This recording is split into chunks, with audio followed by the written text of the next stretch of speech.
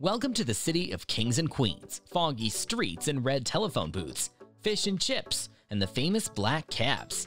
London is the city of contrasts and surprises, where the past and the present coexist perfectly. Join us as we take you on a journey to discover the hidden gems, the unknown corners, and the must-see places in this beautiful city. From the grandeur of Buckingham Palace to the historic Tower of London, from the world-renowned British Museum to the iconic London Eye, London is a feast for the senses, a city that will leave you speechless and wanting more. We'll take you on a journey through the winding streets and alleys, the grand boulevards and the intimate squares, the historical landmarks and the modern architecture, to reveal the secrets and stories of London. A city that will amaze you with its diversity, its culture, and its people. So here are the top 10 best places you must see in London. Before starting the video, be sure to smash the like button and subscribe to never miss out on any of our videos. Number 10. St. Paul's Cathedral Although St. Paul's Cathedral is a well-known landmark, the structure there now is at least the sixth version of the building. Mark V was completely obliterated by the Great Fire of London in 1666. Mark III was also obliterated by fire in 1087, and Mark IV was reduced to rubble under the reign of Henry VIII. We should count ourselves fortunate that Sir Christopher Wren's design, which was finished in 1708 and has stood the test of time through 12 monarchs and two world wars. After you have paid the main admission fee, you will be given a 90-minute tour, after which you will be given an introductory talk as a special treat. Number 9. Hampton Court Palace a magnificent palace set inside verdant grounds, located on the outskirts of southwest London. There's plenty for people of all ages to do here, from the indoor tennis court in the style of the Tudors, to the royal maze, from the king's private toilet to the magic garden adventure playground. Those interested in history and art should consider purchasing a ticket for the palace and gardens. Those traveling with children should consider purchasing a ticket for the magic garden and maze instead. Be sure to keep an eye on the webpage to track when they're open over the seasons. Number 8. The London Eye The London Eye is the cantilevered observation wheel that is the tallest in the globe. The remarkable feat of engineering is now recognized worldwide as a landmark of architecture and has come to represent the contemporary capital. At an impressive 135 meters or 443 feet high, you'll be able to spot some of the capital's most iconic landmarks and top attractions, including Big Ben, the House of Parliament, and Buckingham Palace, while riding the London Eye, which has a visibility range of up to 40 kilometers or 25 miles on a clear day. The ideal opportunity to reacquaint oneself with and get a new appreciation for the stunning city of London, the London Eye comprises 32 capsules, each designed to symbolize one of London's 32 boroughs. Number 7. Tower of London the Tower of London is one of the most popular tourist destinations in London because of its stunning appearance, which positions it among the most impressive landmarks in the city. When in London, it is impossible to avoid visiting this breathtaking location. Over several centuries, the Tower of London has served several functions, including a jail, a palace, a treasure vault, and finally a private zoo. It is currently recognized as a World Heritage Site. Number 6. Madame Tussauds a well-known waxwork museum, Madame Tussauds London, features statues of many of the world's most famous people, including your own favorites.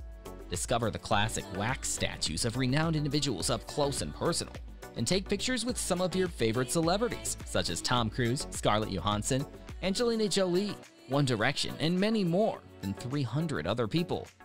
Get the pictures you've always wanted to take with the celebs you've always admired. Number 5. Buckingham Palace.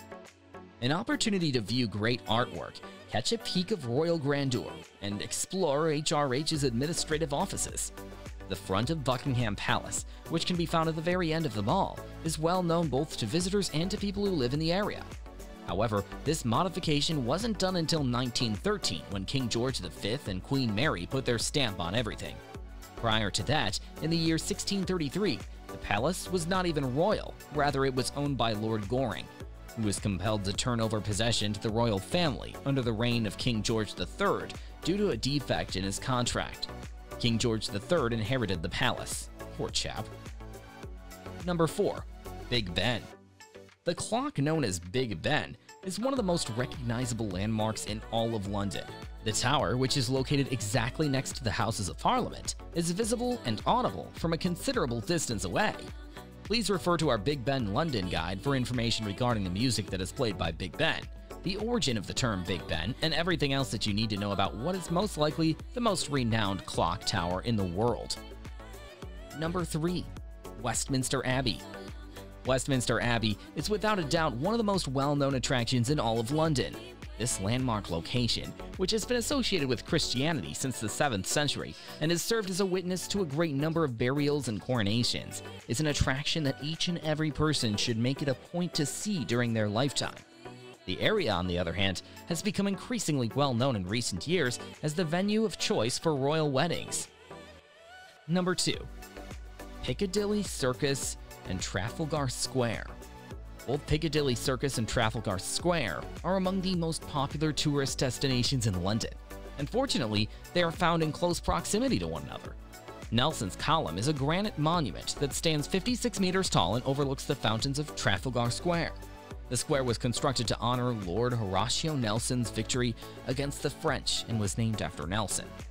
Piccadilly Circus, on the other hand, is the confluence of several of London's busiest streets, including Shaftesbury Avenue, Regent Street, and Haymarket, and it is also the location of London's most famous sculpture, which is winged Eros gently balancing on one foot. Number 1. River Thames The River Thames is known as one of the best places to visit in London because of its natural beauty and calm atmosphere. People think of it as an important part of London's tourism and economy, River Thames is the most well-known river from east to west in the UK. It has everything from luxury hotels to cruise ships, and is also one of the best places to visit in England. It's one of the most important waterways in the world, and it goes through the busy city of London. Many people get ideas from it. For Londoners, it might just be a river, but it's a great place for people from all over the world to visit. This site is great for people who love adventure, books, history, style, and substance, river walkers, green-fingered people, and people who want to be Don Draper. You will definitely be happy and have a thrilling time cruising here. When you're at this river, you can see some of the nearby tourist spots and do some water sports as well. You can also take part in Totally Thames, the boat race, the Virgin Money London Marathon, the Great River Race, and the Mayor's New Year's Eve fireworks show. A trip to the River Thames is a must for anyone who wants to experience the royal and majestic side of London. So what do you think of our list? Have you ever been to any of these places or have any other recommendations? Let us know in the comments below, and don't forget to like and share this video with your friends and fellow travelers. Thanks for watching, and we'll see you again soon for more exciting adventures in the city of kings and queens.